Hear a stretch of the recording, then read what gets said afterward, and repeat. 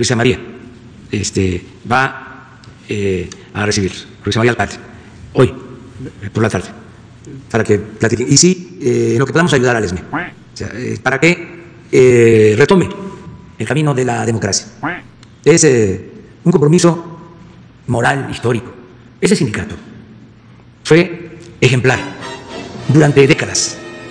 Podría decir, el sindicato más democrático de México, a pesar de el autoritarismo que prevalecía.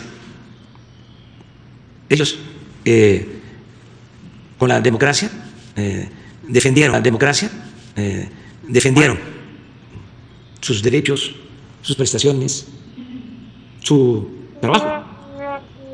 Los dividieron porque querían desaparecer la empresa, luz y fuerza. Y de ser algo ejemplar, la división los debilitó y pudieron dar el zarpazo desde el gobierno para dejar eh, sin trabajo a 40 mil trabajadores. Eso no se olvida.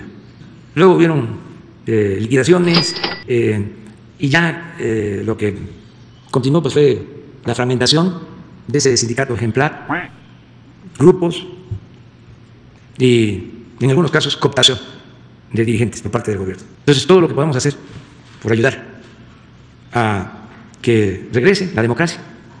No es de esos sindicatos en donde nunca ha habido democracia. Hay sindicatos en donde nunca ha habido democracia, desde que nacieron. El que los constituyó se convirtió en el líder y desde entonces este, sigue mandando.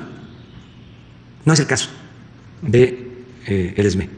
Entonces tenemos nosotros eh, eh, una obligación moral y vamos a ayudar. Entonces por eso hoy por la tarde este, recibe a una comisión la secretaria del Trabajo.